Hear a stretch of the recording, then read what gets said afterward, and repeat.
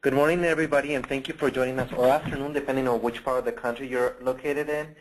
Thank you for joining us this morning on the Strategic and Restructuring in the Affordable Care Act, the new role of HIV uh, CBO for uh, a webinar. Just a few housekeeping, just a few housekeeping um, points. This presentation will last approximately 45 minutes. We are anticipating, given that there is a lot of content, that it will take probably a little longer. There will be opportunities for question and answers at the end of the webinar. If you have any questions during the presentation, we do encourage you to use the chat feature, which is at the right-hand side of your, of your screen. We anticipate that given the amount of people who will be participating in today's webinar, that we will not be able to get through all the questions. However, we will be, um, we will be providing an educational material or a fact sheet with additional questions that you may have um, throughout the webinar. Also, at the end of the webinar, there will be a survey that is going to pop up once you close the window. Question number eight is an open-ended question where we are encouraging you to uh, ask any type of questions that you may have, and we'll take a note of those so that we are able to address them uh, at a later time, either through emails or through this particular fact sheet. Another reminder is that we will be posting this, um, we'll be recording this webinar and posting it in our website by Monday on SharedAction and shareaction.hd.org, which is on the bottom right-hand side of your of your screen. And just a brief introduction to SharedAction and SharedAction HD. Those are two capacity building assistance programs for AIDS Project Los Angeles and are funded under the CDC we are here to provide any type of technical assistance or any type of services that will help you enhance the services that you provide in your agencies, including today's topic. Here are four general areas in which we can um, provide assistance. The first one is organizational infrastructure and program sustainability. The second one is alignment with NHAS of the National HIV AIDS Strategy and high-impact HIV prevention. Also services around monitoring and evaluation. And last but not least, evidence-based interventions, uh, EBIS, and public health strategies. So any type of areas that you might need assistance with, we are here to assist you. You'll have our contact information uh, at the end of the webinar. Just a few acknowledgments. Like I mentioned, we are part of AIDS Project Los Angeles. Uh, this is also a collaboration with the Centers for HIV Identification, Prevention, and Treatment Services at UCLA. And once again, we're funded by the Centers for Disease Control and Prevention. Now we have uh, three presenters today. We have Tom Donohoe, AJ King, and Keisha So I'll start by by Tom Donohoe. I'm going to give just a brief bio. Tom Donohoe is the associate professor of the Family Medicine and director of the UCLA Pacific AIDS Education and Training Center at the David Geffen Center School of Medicine at UCLA. He's also the associate director of the UCLA Center for Health Promotion and Disease Prevention. He has an MBA in finance from the Anderson School of Management. And in the 1980s, he worked as an investment banker on Wall Street, working, working on corporate measure, uh, mergers and acquisitions. AJ King is a senior um, analyst at UCLA's Department of Family Medicine, as is also a consultant in the field of public health, providing grant writing, facilitation, training, strategic planning, and other organizational development services for a variety of community-based and governmental organizations. AJ King worked for many years as a trainer and manager overseeing a national CDC-funded capacity building assistance program for health department and community-based organizations. He has served as a, a community co-lead uh, co for the CBA for Health Department's National Network as, and as a co-chair of the Los Angeles County HIV Prevention Planning Committee. And last but not least, Keisha McCurtis. She is an implementation scientist and project director with the UCLA Department of Family Medicine. She has authored intervention manuals for linkage to care and re-engagement in care for men and transgender women living with HIV. She has also co-authored a series of social determinants of health and HIV and, and structural level interventions with colleagues from Children's Hospital Los Angeles. Keisha is a CDC-funded capacity building and technical assistance provider for health departments and community-based organizations and has extensive experience working and collaborating with traditionally underrepresented and marginalized communities. She's also steering committee for co-chair of the HIV Prevention Justice Alliance. And without further ado, I'm ceding controls now to our presenters. Tom, you may take over at this time. Great. Thank you, Oscar, and good afternoon and good morning to everyone out there. Thank you all very much for joining us today. So I'll start by quickly reviewing, sorry, I'm showing you the slide. Hold on one second. Show my screen. There you go. All right, sorry about that. I'll start by quickly reviewing our objectives for today's webinar. By the end of this webinar, we anticipate that participants will be able to understand the new context within which HIV prevention and care services are delivered, identify possible restructuring strategies for HIV organizations, conduct an agency assessment to determine potential restructuring options, and to access available resources to assist with restructuring efforts. So our agenda then is to discuss the current context in the field of HIV and how it's prompting many of us to consider restructuring. We'll talk about various restructuring strategies and also about how you might get started thinking about restructuring and assessing what changes, if any, might be appropriate for your agency. Then we'll talk about next steps and review some resources. And we'll have a little time at the end to take some questions. Okay, so let's start with a quick poll to find out a little bit about who's participating in today's webinar. So Oscar, if you could please pull up the poll, um, and we're going to ask you to respond to the following question. Of these four categories, which uh, I think you can see, um, which best describes where you work? Is it a CBO, a health department, a federal agency, or other?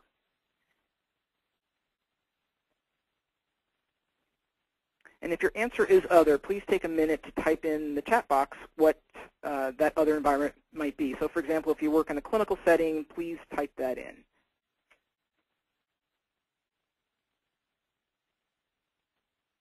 I'm going to give it a minute here.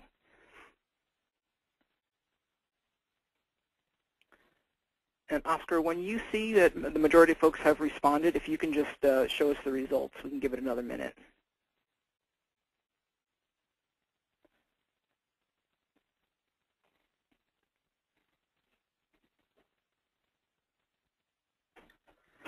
Okay, AJ, I'm about to close it now. Okay.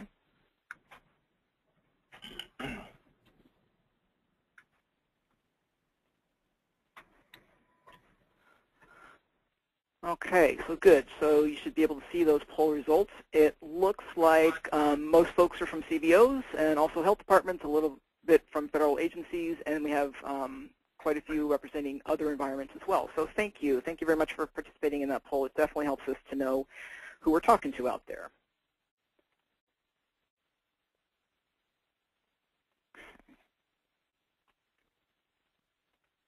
All right, so let's get started with a quick definition of strategic restructuring. This definition comes from the La Piana consulting firm, and they say this about strategic restructuring.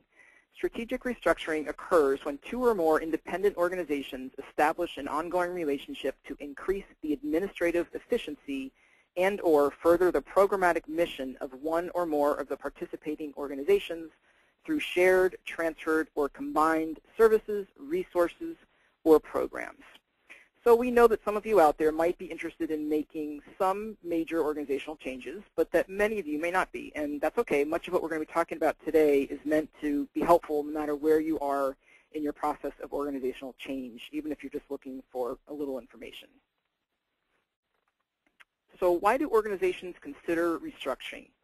Typically, to preserve the organization's mission and services, to build capacity and increase efficiency, and or because the context of the work is changing. So this last point about context is very applicable to us who work in HIV in 2013 and, and really to any of us who work in the broader public health or healthcare fields. So let's take a few minutes to consider what we mean by context.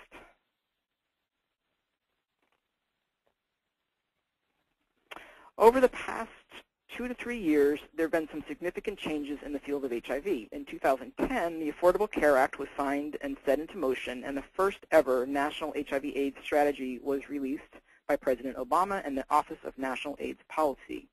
In 2011, there were a number of scientific breakthroughs in the field, one of the most significant being the results of the HIV Prevention Trials Network 052 study, which we'll talk more about in a few minutes. The CDC also introduced high-impact prevention and released a new health department funding opportunity announcement. This funding opportunity in many ways redefined how we and our federal partners conceptualized HIV prevention. And importantly, for this funding cycle, the CDC also updated its geographic funding allocations among health departments. Finally, in 2011, a model known as the HIV treatment cascade was popularized on a national level by an article written by Dr. Edward Gardner and his colleagues. We'll also be talking more about the treatment cascade in the next few minutes. In 2012, we saw recommendations that antiretroviral therapy, or ART, should be provided to all HIV-infected individuals, regardless of their CD4 count, and that clinicians should screen everyone 15 to 64 years old for HIV infection, regardless of risk. And now, in 2013, we find ourselves preparing for 2014, when the Affordable Care Act will be fully implemented. So a lot has happened, and there's even more on the horizon. So let's take a few minutes to take a closer look at some of these events. Many of you by now are probably well aware of the National HIV AIDS Strategy, so we'll just highlight a couple key points here. The strategy was released in 2010 and outlines three broad goals to reduce new HIV infections, increase access to care, and improve health outcomes for people living with HIV, and to reduce HIV-related disparities. To reduce new infections, the strategy directs us to, among other things, use a combination of evidence-based approaches. And one of the benchmarks the strategy identifies is by 2015 to increase the percentage of people living with HIV who know their status from 79% to 90%.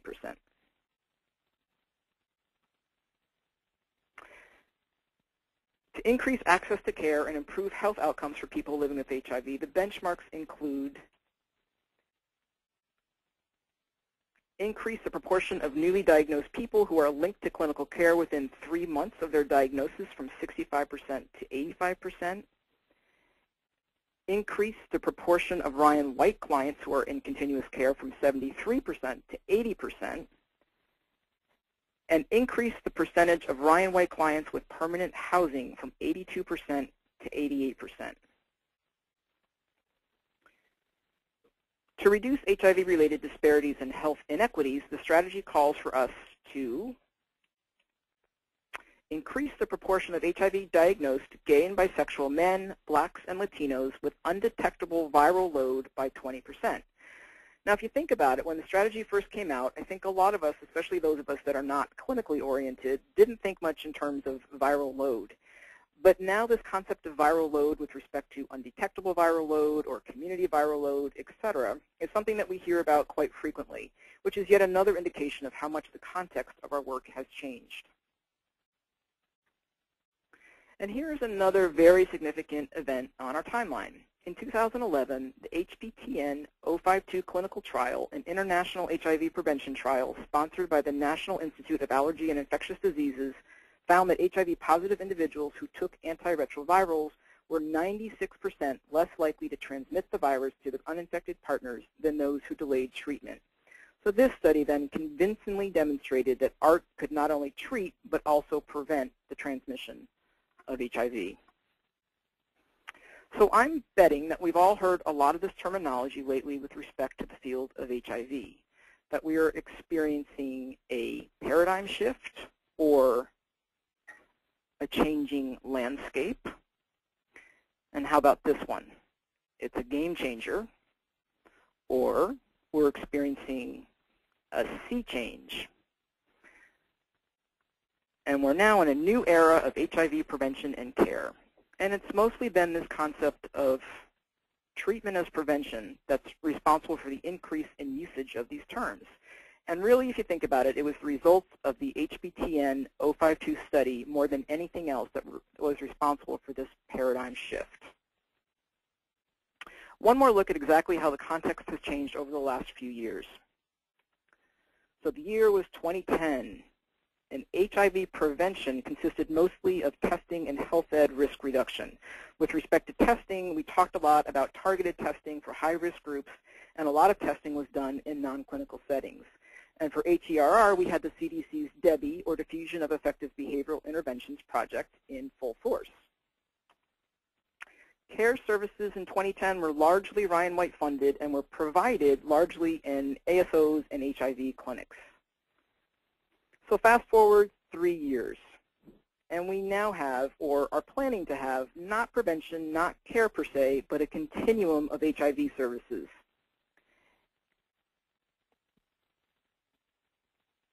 And we're focused on the following. Testing and diagnosis that is both routine and targeted and occurring more and more in clinical settings.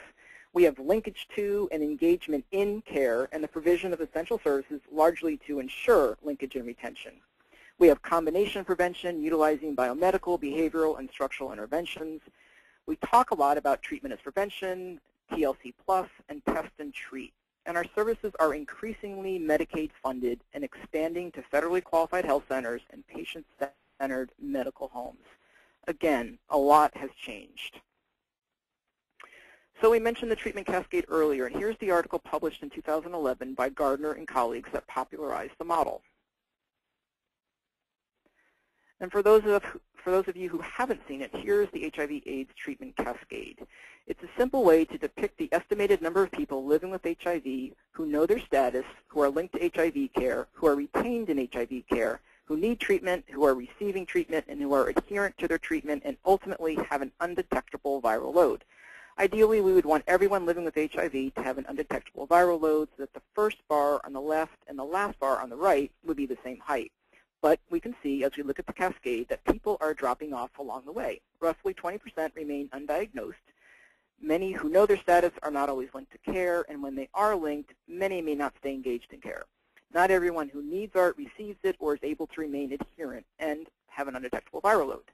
So later in the webinar, we will see how this tool has, has been used to help shape services and how you can potentially use it to strengthen your programming. But right now, Tom is going to talk to you about the impact of the Affordable Care Act on HIV services. Good morning or good afternoon, everybody. This is Tom Donohoe, and I'm going to take us through another paradigm change, which is the Affordable Care Act. I'm going to look at it overall, and I'm going to talk about how it changes HIV services. So overall, health reform will bring health insurance to 32 million people. 20 million more people will get their health care at community health clinics, which will actually see an $11 billion uh, expansion in new investments and uh, new clinics. In states that accept Medicaid expansion, non-disabled adults who make less than 133% of the federal poverty level will now qualify for Medicaid. There will be subsidies for those who make between 100 and 400% of the federal poverty level to purchase private insurance through state exchanges, yet there will still be about 23 million people in the country without health insurance. So what about HIV? The Affordable Care Act promotes HIV, STD, and viral hepatitis testing and directs more funding of preventive services, many of which will be free to patients. In terms of HIV medical services, many people living with HIV who currently don't have insurance and get their HIV medical care paid through the Ryan White program will get insurance, both through Medicaid expansion and through private insurance through state exchanges. But it's also important to know that Ryan White is the payer of last resort. So by congressional charge, Ryan White uh, is the payer of last resort. So if a person has medical insurance, that insurance must be used to pay for their HIV medical care. So as the Affordable Care Act expands insurance, many people living with HIV will move, for example, from Ryan White to Medicaid or state private exchange insurance for payment of their HIV and other medical care. This will expand coverage for many HIV-infected patients as it will include services like emergency room care and non-HIV related medical care. Now, Ryan White will still be available for those who will remain uninsured after implementation of the Affordable Care Act. And it will also be available for wraparound services not included in programs like Medicaid or the state exchanges, for example, adult dental care. So the role of uh, HIV CBOs uh, will still be very important in helping patients navigate these changes. So as you heard earlier, I have a background in investment banking in the private world, so I thought I'd give a quick analogy about these landscape changes through private world eyes that AJ was talking about. So there's been a lot of paradigm changes in HIV, but I'm going to look at the paradigm change that the internet caused, for example, at newspapers and how newspapers do business. So we all know that in the business world, we hear about strategic restructuring. They often call it mergers and acquisitions every day on the radio and television. So the goals are often complex, and maximizing profit is an ultimate objective, but they are often responding to these paradigm changes. Think, for example, how the internet has changed the newspaper industry. So this side-by-side -side example shows how you might advertise a home for sale using the internet versus one of your city's newspapers. It's expensive to place one small ad one time in the newspaper, while the internet offers many free places to place real estate ads. You can even put pictures, movies on your website, and all of it can be updated. Many of these internet services are actually free, like Craigslist. So many of these newspapers did not adapt to these new and profound changes, and they simply had to close their doors, as their business models were no longer relevant.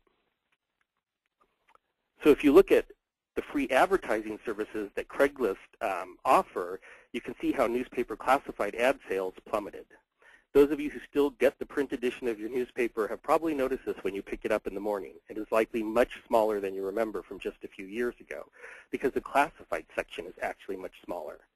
Has this meant the end of the newspaper industry? Well, for some papers it did, but it didn't for those who adapted to the new paradigm of the internet. So how did newspapers survive?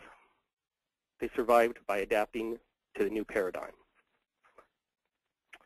So how did they do this? Well, a lot of newspapers actually merged to reduce costs and have more resources to address the new paradigm. Probably most of your local papers, wherever you are in the country, now have a website edition, like this is the Los Angeles Times, which has its website edition.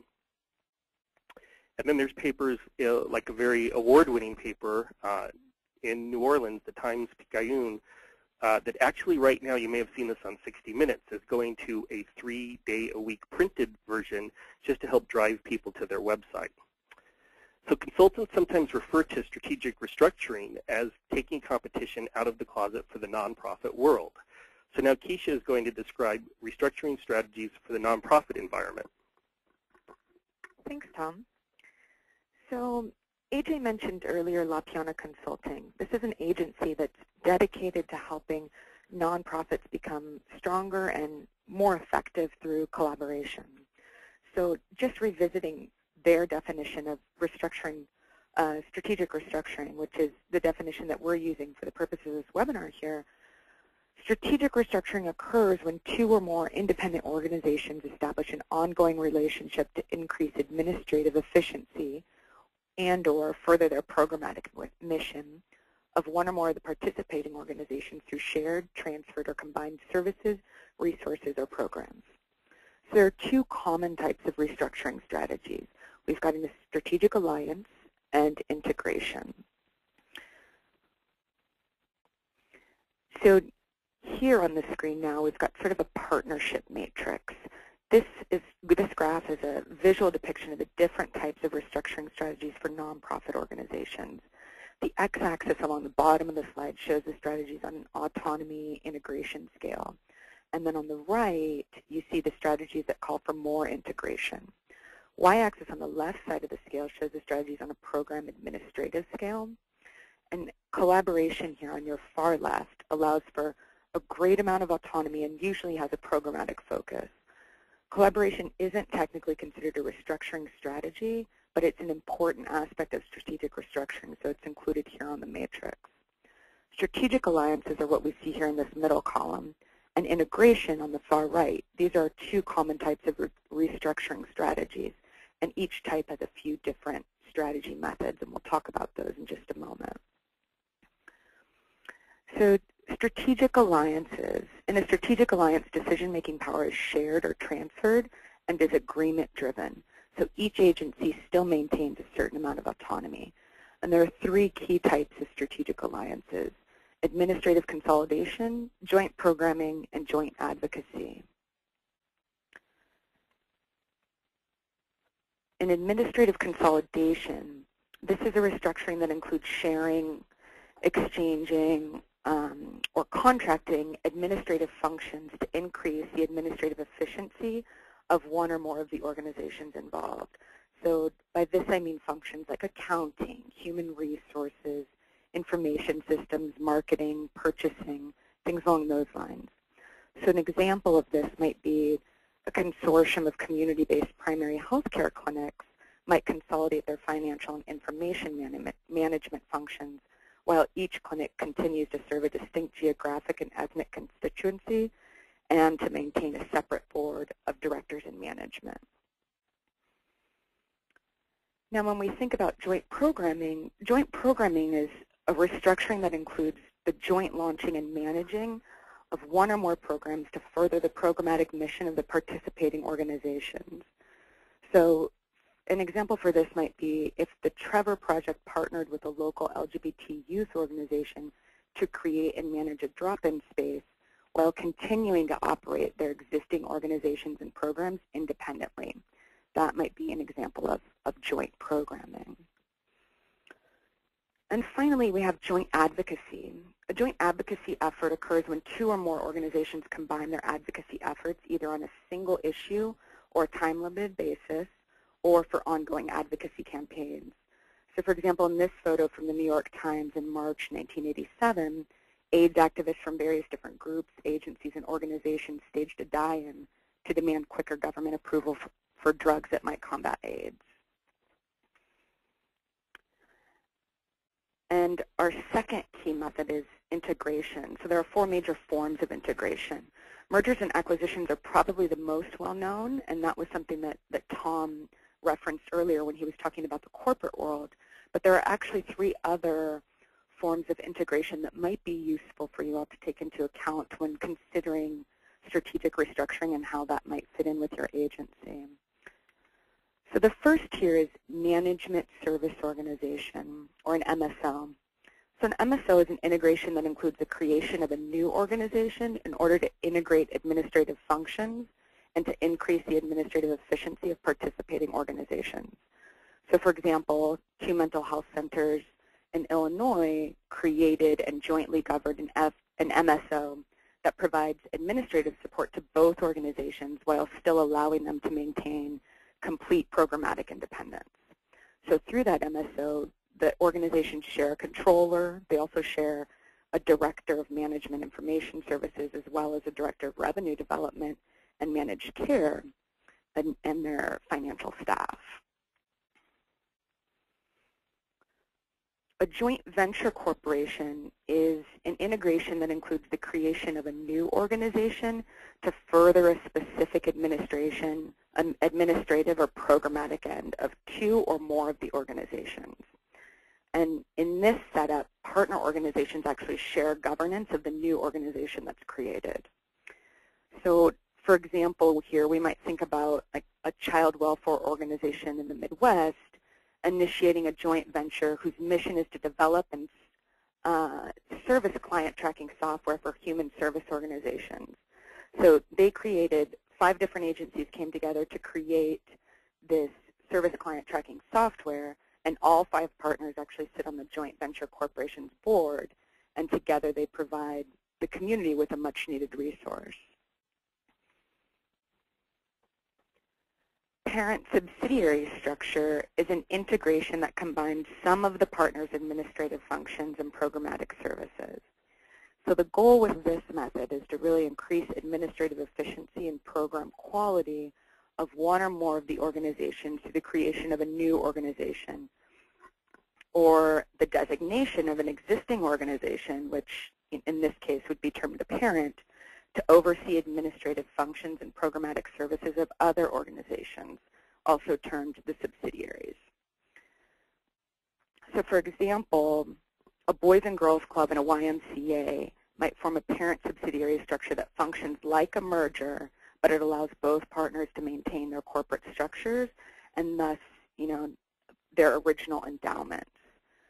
So Another example might be two multi-purpose health agencies in Ohio forming a parent subsidiary structure that can preserve the organization's programmatic autonomy while allowing the partners to pursue some programmatic goals together and also providing improved administrative support. So parent subsidiary structures are often utilized when two organizations want to do a merger but can't accomplish that immediately due to contractual obligations. So parent subsidiary structure can be put in place temporarily until transferable issues are resolved. And then finally, the probably more popular and well-known method is, would be mergers or acquisitions.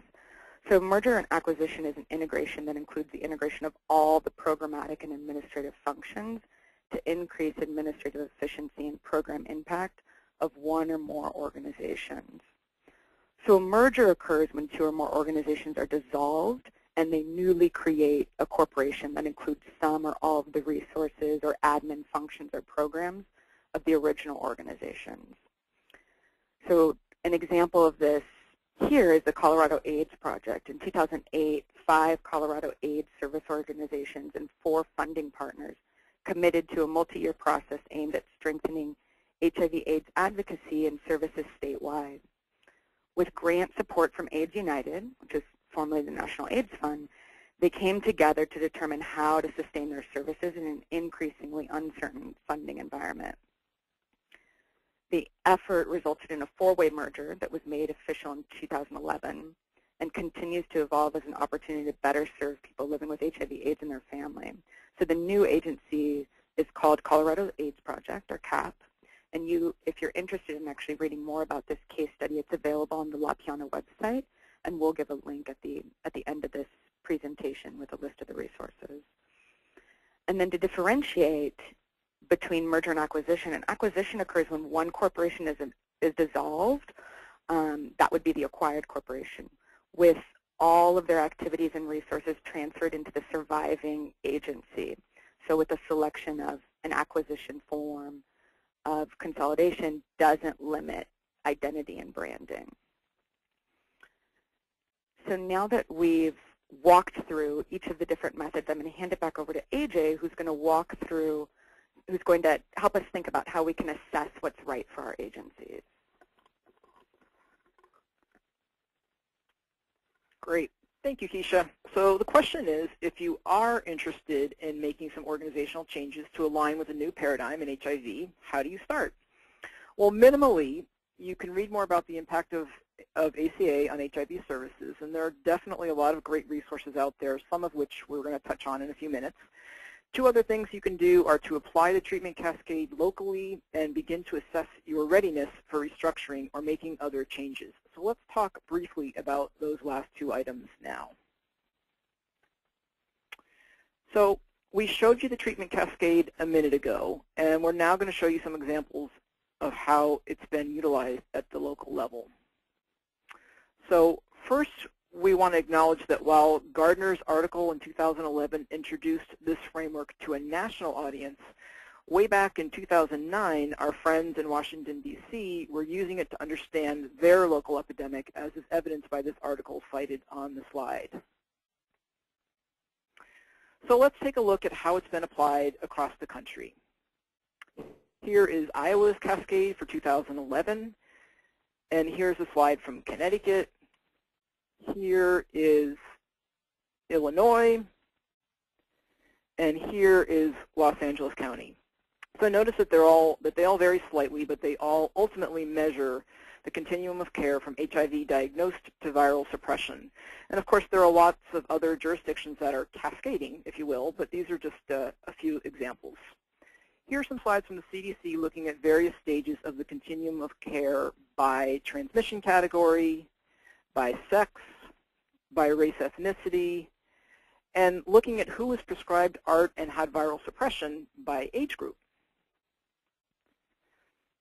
Well, here's an example of how Illinois compares where they are on the treatment cascade to where they need to be to reach the national HIV AIDS strategy goals we talked about earlier.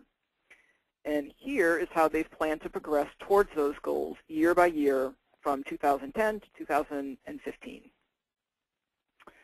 So here's a real simple method for you to begin to utilize the treatment cascade to help determine what role your agency can play in this new context. The first step is to find out, if you don't know already, what the treatment cascade looks like in your jurisdiction. The second step is to not just look at the picture, but to read between the lines and understand what the picture is telling you. So for instance, where is the biggest drop-off? Who's not getting linked? Who's not engaged? Uh, who's not adhering to medication?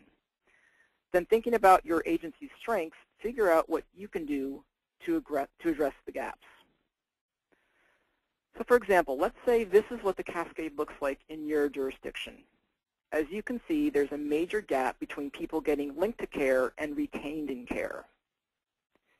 And you find out that a lot of those folks who are not engaged in, in care tend to have substance abuse disorders. Your agency is known for providing quality services for substance users. So clearly, your services are needed to ensure that those who are linked to care become engaged in care. That's a strong selling point that can easily be described by using your local treatment cascade. Let's talk now about some preliminary assessment steps that you can take to determine how ready your organization may be to implement some changes. Please keep in mind that these assessment stages that we'll cover are adapted from a variety of sources. The first stage is to assess organizational readiness. The second stage is to assess feasibility of change. The third, to assess the organization's internal and external environments. And the last stage is to assess the organizational culture. Here are some key questions to ask to assess organizational readiness for change. Is there agreement among the organization's leaders about the strategic vision for the organization and about the threats and opportunities facing the organization? Is there mutual respect and healthy communication between the board and staff? And how about between leadership and staff? Is the organization comfortable with risk-taking, and have they had success with taking risks in the past? Keep in mind that this is perhaps the most important stage in the process where people are encouraged to be very open and honest about their fears. To assess feasibility of change, you might want to ask, does the organization need incremental or strategic change, meaning less risky collaborations or some programmatic adjustments versus mergers or more formal partnerships?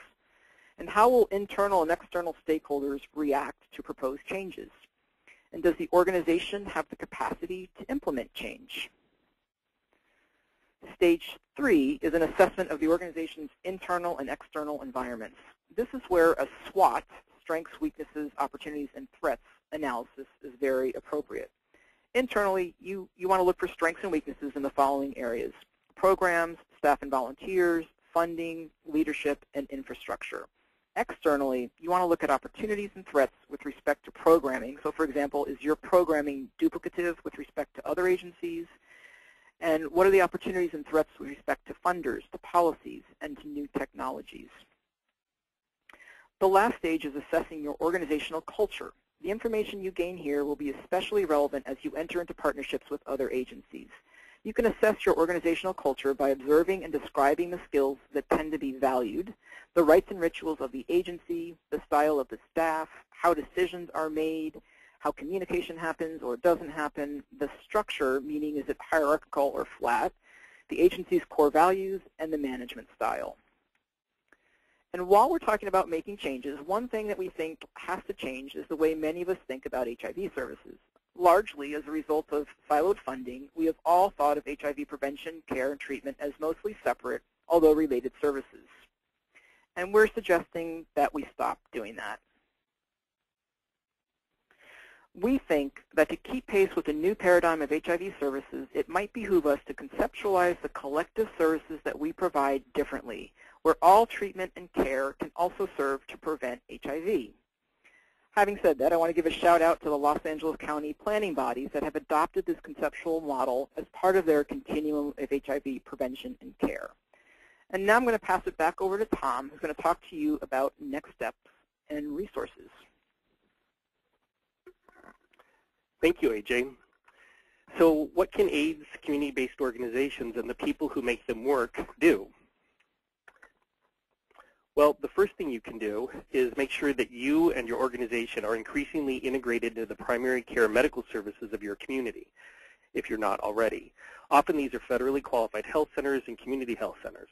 Sometimes AIDS community-based organizations do excellent work, but in the silo of excellence, like AJ was discussing. So increasingly, interventions, including important prevention, linkage, and retention services, will need to be integrated with clinical care. Integration does not have to mean co-location. Indeed, sometimes co-located services are not integrated, but organizations can no longer work in silos of excellence. What about helping to fund strategic restructuring efforts? The next few slides will show websites of local, regional, and national resources to help fund your strategic restructuring efforts. This is in no way a complete list. So the first one is the Center for Civic Partnerships. The Center for Civic Partnerships mission is to provide leadership and management support to build healthier communities and more effective nonprofit organizations. They offer strategic and sustainability training and consultation for nonprofits and a low-cost sustainability toolkit.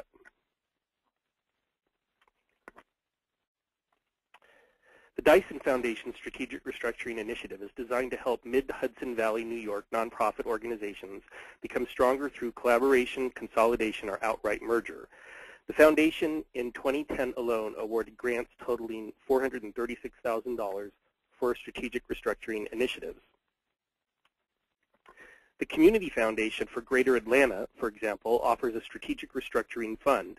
The purpose of the Strategic Restructuring Fund is to provide funds or management consulting services to support nonprofits as they assess, negotiate, design, and implement substantial strategic restructuring efforts.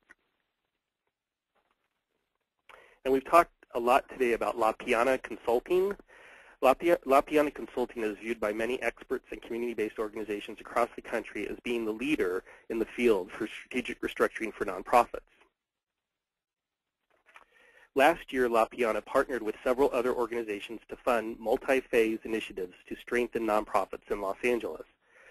A number of AIDS community-based organizations are currently in phase two, which is determining readiness and next steps of this initiative. The Lodestar Foundation, in partnership with the Foundation Center, provides nonprofit collaboration database as a resource for anyone seeking real-life examples of how nonprofits work together. You can find information for more than 650 nonprofit collaborations at this website.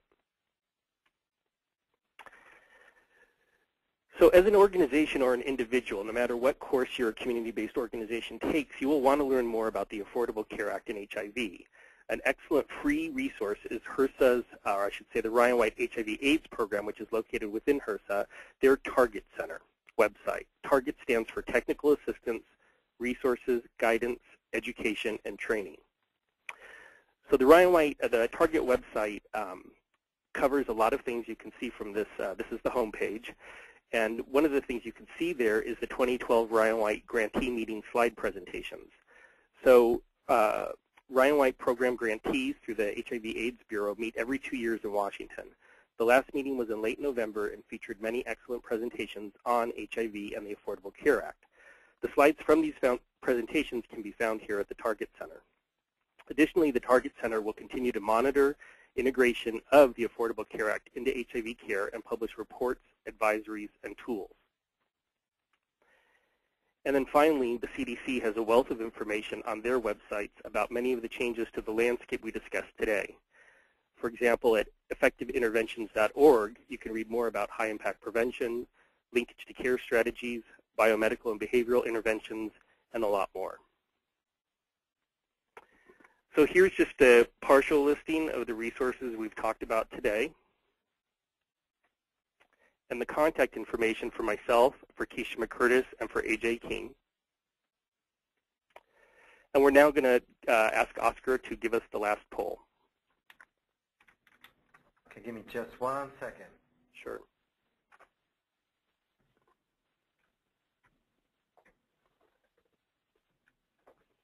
All right, at this time, people should be able to see the options on their screen. Please go ahead and select your option.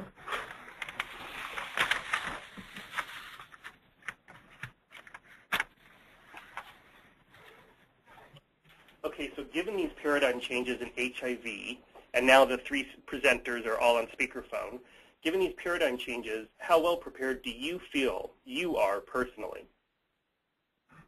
So not very prepared, somewhat prepared, very prepared, or I don't know, or I'm unsure.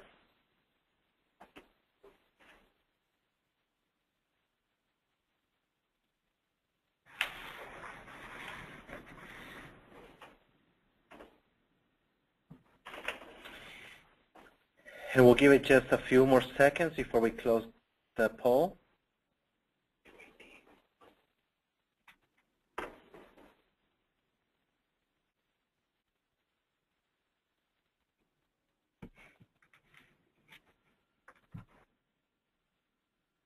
At this time, I'm going to go ahead and close the poll.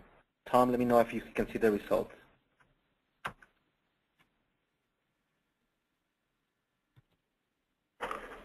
Okay, so we can see that most people feel somewhat prepared. There's about 12% of people who think they're not very prepared, um, and then about equal numbers who think they're very prepared or uh, unsure. So um, we're glad that we had the call today so that we hopeful, hopefully this made you feel a little bit more prepared. And so when we take questions and answers, uh, we do have 218 people, according to my reading, on this. So we're going to ask that people type in their questions. And we're also going to ask that you, in addition to asking your questions, that you take the time to write down what questions you have in the evaluation for the webinar, which will be sent to you. So the question number eight is an open-ended open-ended question. So if you write out your questions there, we will be compiling a list of frequently asked questions and putting that um, posted to the website along with this presentation. So the presentation will be available Monday at the SharedAction website, and then that frequently asked question, if we get enough, uh, probably in a couple weeks. And I want to take the time to thank the presenters, uh, AJ, Tom, and Keisha for today's presentation. I think that's a very useful presentation and very timely, especially for the times of new directions that we're all facing. So thank you very much for that wonderful presentation. Let me just remind participants that this, uh, this webinar is being recorded and it will be made available by Monday on our websites, sharedaction.org and sharedactionhd.org, which you can see at the bottom of your screen on your right-hand side. Uh, before I start asking some of the questions, one of the most common questions that we were asked um, to any of the presenters is, where can people go to find the treatment cascade for their particular um, geographic areas? That's a good question. I'll start with me, and I think the other people want to answer as well. But I think you want to start with your local health jurisdiction. And so that's another really important point is if you're a community-based organization that's not already part of the planning process, whether it's the Ryan White Planning Council if you have one, um, but certainly you want to check with your local health jurisdiction. And if they don't have one, maybe help develop one with them. Uh, AJ or Keisha, do you want to add anything? I would just add that, yeah, a lot of planning bodies also um, have have the data that they can apply to the treatment cascade. But if your health uh, department doesn't have it, urge them to get it because you know it's, it's not difficult. And one of the things that I can also add to presenters is you can go ahead and follow up with any of us at the end of the webinar. You have our contact information in your confirmation email, and we can elaborate a little bit more. Now, one of the things that was mentioned during the, the webinar was that um, with the healthcare reform, the Ryan White funds will only be used for those who remain uninsured and for wraparound services. Can you elaborate a little bit more on that, please? Sure. Well, we could spend probably an entire webinar on that, so we just really wanted to give the biggest highlights. So even, for example, I'll take my state of California, which I know the most, which has actually accepted the Medicaid waiver. We're far along the process of um, moving patients into a transitional program that will eventually end up in Medicaid. And so Ryan White, I think the most important thing for people to know is still going to be around. It's not going away. In the state of California, after full implementation of healthcare reform, we're still going to have millions of people without health insurance. Healthcare reform is not going to bring uh, health insurance, whether Medicaid or through the insurance exchanges, to everyone. So there will still be people who need Ryan White as their primary uh, provider of HIV medical care. But then for everybody living with HIV, and this will be an important integration role for the planning councils and for the local health jurisdictions, Ryan White will still be there for wraparound services like medical case management, which isn't offered in Medicaid, like uh, dental care for adults, which is not offered in Medicaid or through the state insurance programs.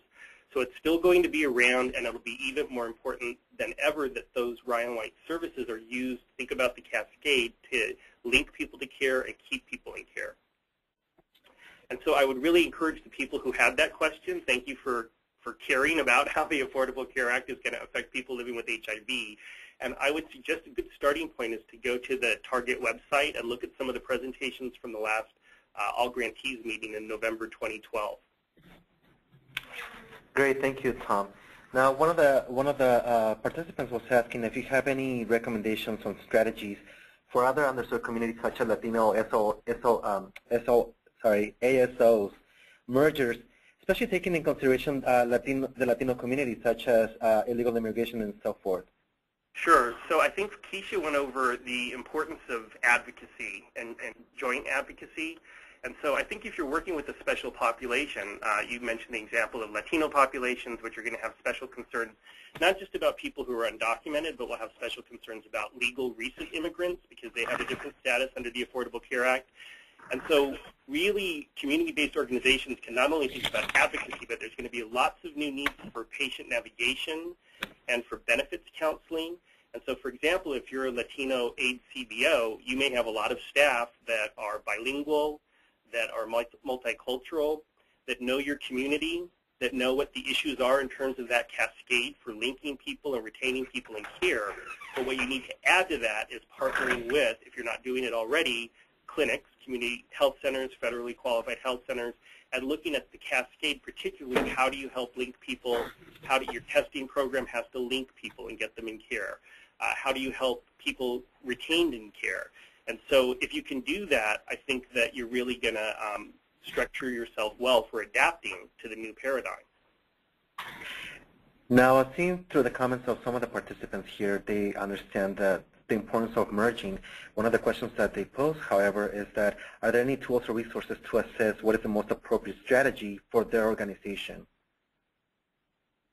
Yeah, I mean, I, I think that a lot of the um, the resources that we talked about and that we showed you, I mean, there you can certainly consult with a number of those consulting firms that can help you through that process. And you can start the process without knowing that, you know, yes, we want to merge or we want to form some kind of other joint partnership. I mean, there's you, you don't need to have that answer when you start. The, the, the process will, will ultimately lead you to that decision. Great, and thank you. Wants to add to that too. The only the only thing that I would add to that is sort of thinking about who your partners are and trying to bring everyone to the table. That's an important piece as you think about moving forward and whether or not it's a merger, whether or not, like, what type of method you want to do to make sure that you're adapting to the new context of, of HIV prevention. Great. Um, and I have another question here. Uh, do we need legal advice to start negotiations or conversations with other organizations? Are there any type of legal documents that are needed for that? None of us are lawyers. So. one of us has an MBA in finance, but no one has a, a JD degree. But I can say from you know looking through all the different models that we've described here that you probably do want to get help, and obviously it's going to depend on the size of your organization. If you're a smaller community-based organization, you may be known as what's a 501c3 or a nonprofit. And so if you're working with a group that's a for-profit organization, obviously you're going to want to get some, you know, consult there on what it means because those are all federal sort of tax terms. Mm -hmm. And, you know, we're, we're talking about these resources that are available to you because a lot of these consultants are not uh, inexpensive. And so some of the numbers we looked at were, you know, twenty to $50,000 just for the consultant to work with the large community-based organizations to help them with strategic restructuring. And so that's why we wanted to share with you some resources for applying for grants to do that. We know that some of the community-based organizations that are listening today are probably small, and they may have started from the advocacy community. Um, they may be in a rural setting, but there's still a lot that you can do. For example, that, that um, sustainability toolkit is $60 that was available on that website that I shared. So there's a, a, a wide, wide range of uh, what you can go out there to get in terms of help. I think it's also important to access the resources that you already have in your back pocket. So if you're just beginning discussions, making sure that you're incorporating your board or your strategic committee or your, your steering committee and your group of advisors, you may actually have expertise on your, on your board or your committee that you weren't necessarily aware of with respect to adapting and, and strategically restructuring, depending on where you are in your conversation. The other thing is I think that our funding agencies, whether it's uh, the Health Resources and Services Administration or it could be SAMHSA or the CDC, um, largely a lot of them were, were waiting for the Affordable Care Act and the election and certain closure and confirmation on a lot of things actually happening. But I say don't wait for funding announcements or for requests for, announce, for applications to come out. You can start working on this stuff now. And today is not too late. Great, and let me remind participants that uh, we won't be able to get through all the questions. However, in your screen you can see my contact information and I can filter that information to, to the presenters. Um, also, one of the resources I want to mention is that you can always access our services uh, to further either strategize or help you assess uh, your agency's uh, ability to conduct mergers. Um, I have a couple of more questions here that will funding for case management be in jeopardy with the changes we anticipate?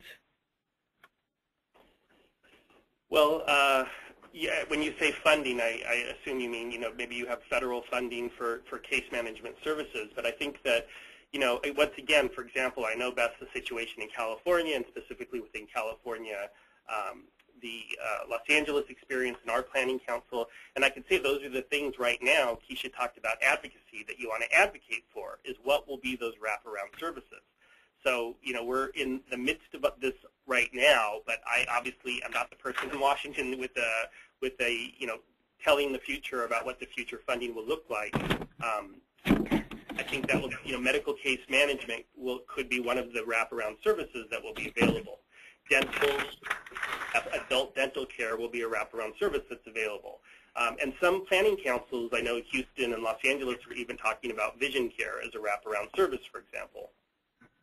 And also, this is AJ. I wanted to add uh, something too about terminology. I think that's a great question, and you know, I think as we can see in our field, a lot of times we change the names of things and we name the same thing something else. So, so for example, maybe case management, um, non-clinical case management, for for example, might not be funded in the way that it used to. But if you look at kind of peer navigation, for example, patient navigation, that is inclusive of what we consider case management. So you, you might want to think about reframing. If you say you, you have a strong case management program, rethink that and maybe evolve that into a peer navigation program, which is potentially much more likely to be funded. So I think with all of the, you know, terminology is always changing, but I think it's really important to look at what funders are funding, and often it's something, it is what you're doing, but it's called something else. All right, and I'm going to pose the last question. I want to remind participants that once they close their window, uh, survey is going to come up, and question number eight is an open-ended question where you can uh, add any type of questions that we didn't address during this presentation, and we'll follow up with, uh, with an educational material that would answer those questions. The last question that I have here for today is, can we do temporary mergers with the purpose of in, to increase our capacity and then split? No. Uh, no. You, this, without knowing any more detail, my immediate response would be no. You, you wouldn't go through the process of a temporary merger. A merger is, is, is much more permanent. Um, one of the other methods that we, that we mentioned was the parent subsidiary corporation, which is, can potentially be used as a precursor to a merger if there's some sort of holdup that's preventing two agencies from merging. Uh, but without knowing further detail, a merger is not a method that you would use on a temporary basis. You might do some programmatic collaboration instead if it was program specific, but you wouldn't temporarily merge two agencies. Great. I want to thank the participants and, and the facilitators for today's webinar and for participating in the webinar today. We know that, every, uh, that there's a lot of questions that remain to be answered and we do encourage you to get in contact with us to respond to those uh, questions. We also encourage you to visit our website where we have a list uh, and a sort of resources that are available to you for free um, that could supplement what today's presentation has covered. And once again, thank you to the facilitators, and we look forward to seeing the participants once again in a future webinar. Thank you, everybody. Thank you, Oscar, and thank you, everyone else, for joining us. Thank you. Thank you.